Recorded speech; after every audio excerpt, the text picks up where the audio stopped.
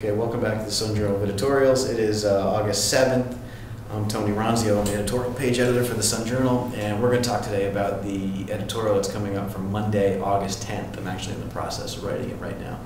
Um, it's all about lobster wars, and I'm writing about it because I'm a survivor of a lobster war. I um, used to be a reporter in the Rockland area for a while.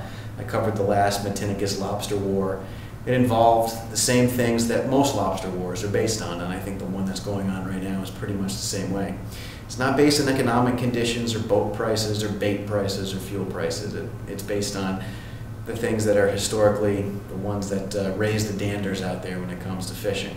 Territorial issues, family disputes, boundary disputes, and certain other things that you know really only known the lobstermen that cause them to uh, sink boats, cut traps, and and what happened on Matinicus a couple of weeks ago, even somebody getting shot.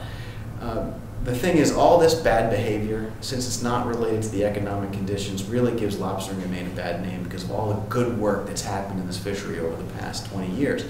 It is a, it is a self-regulated industry. I mean, all this stuff that happens with the fighting and the shooting and the cutting traps is aberrant behavior in a system that actually is pretty effective. These lobstermen defend their own territory, they take care of their own fishery, they keep it sustainable, and they work together, not always perfectly, but they work together to make sure that it's ready for the next generation. The state has got a very good system of, of uh, regulate the lobster industry. The zone councils work, it's representative, it's democratic.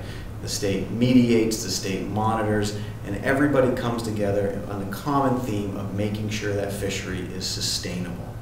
And look at the fisheries around New England today. Every other single one has collapsed. Urchins were huge, they went down. Ground fishing is in, the, is, is in really rough shape.